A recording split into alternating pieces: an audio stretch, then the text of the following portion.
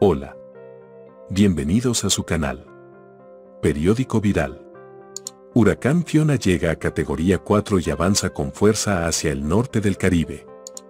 El huracán Fiona, con vientos de 130 millas por hora, 215 kilómetros por hora, correspondientes a la categoría 4 de la escala Saffir-Simpson, de 5, se movía este miércoles hacia el norte y el jueves estará cerca de las Islas Bermudas. El tercer huracán de 2022 en el Atlántico y hasta ahora el único de fuerza mayor pasó ya por Puerto Rico, República Dominicana, partes de Bahamas y las Islas Turcos y Caicos. El próximo territorio en su camino son las Bermudas, de las que esta mañana distaba unas 700 millas, 1.125 kilómetros, según el Centro Nacional de Huracanes, NHC, de EU. En sus gráficos se muestra al huracán pasando al este de las Bermudas, muy cerca o incluso rozando esas islas, pero sin pasar sobre ellas. El NHC, centro con sede en Miami, también está siguiendo hoy el avance de la tormenta tropical Gastón, formada y localizada en medio del Atlántico y por ahora carente de peligro para tierra.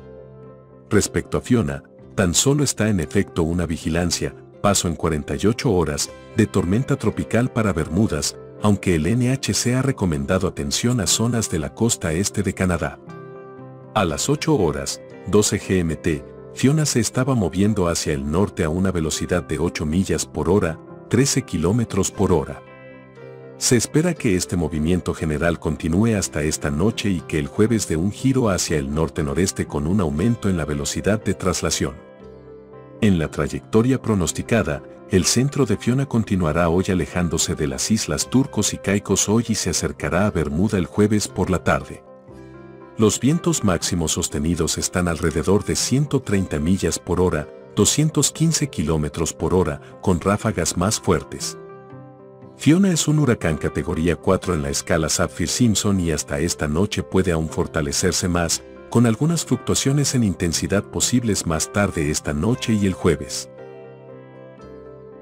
Los vientos con fuerza de huracán se extienden hasta 45 millas, 75 kilómetros, del centro y los vientos con fuerza de tormenta tropical, más débiles hasta 160 millas, 260 kilómetros.